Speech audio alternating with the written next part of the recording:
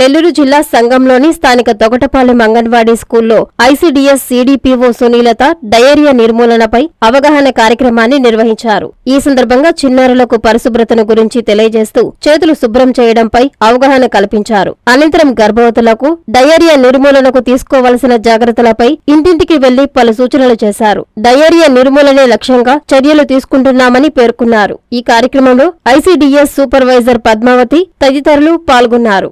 Staff diarrhoea awareness కార్యక్రమంలో భాగంగా ఈరోజు సంఘం మండలంలోని సంఘం తొగటపాలెం అంగన్వాడీ సెంటర్కి విజిట్ చేయడం జరిగింది.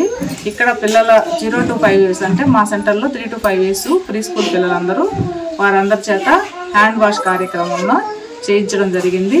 పరిచేతులు పరిశుభ్రత ఉండడం వల్ల కలిగే ప్రయోజనాలని పిల్లలకు వివరించడం. తినే ముందు మరుగుదొడ్డిని ఉపయోగించిన తర్వాత పిల్లలు ఎలా హ్యాండ్ వాష్ చేసుకోవాలా అనేది మేము ప్రాక్టికల్గా చేసి వాళ్ళకి అవేర్నెస్ పిల్లల్లో కలిగించాము. అలాగే తల్లులను కూడా పిలిచి వారికి కూడా చేతుల పరిశుభ్రత మీద అవగాహన కలిగించాము.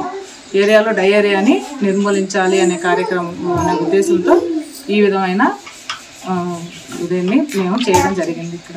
ఈ కార్యక్రమం. మీకు సూపర్వైజర్ మేమందరం అటెండ్ అయ్యాము.